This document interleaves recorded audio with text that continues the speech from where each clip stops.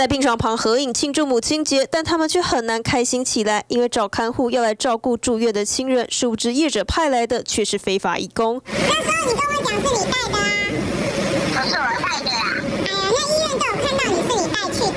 透过中介起看护，根本没想到来的会是非法义工，气得找业者理论，对方说辞却反反复复。啊，你怎么会用非法外劳？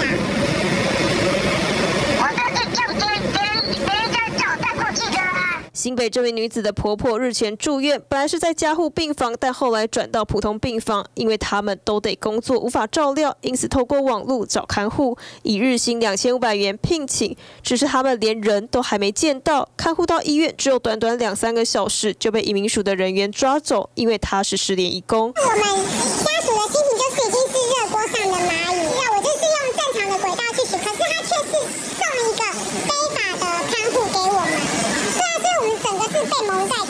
当事人十分无奈。业者网页强调政府立案，还说看护都受过专业训练，想都想不到来的人却不是合法义工，当事人还因此面临法律责任，最终会被开罚七十五万元。一天的行程都还没开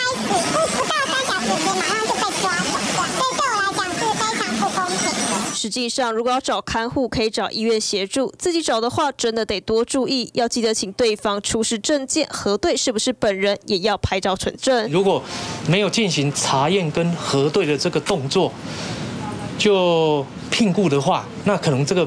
部分非法聘雇的责任还是在这个民众身上，后续也会调查中介是否合法。只是民众找看护，还是记得查验核对，否则被中介介绍非法移工，自己就得面临法律责任。TVB 新闻是全代判新北采访报道。想看最完整的新闻内容，记得下载 TVBS 新闻网 APP。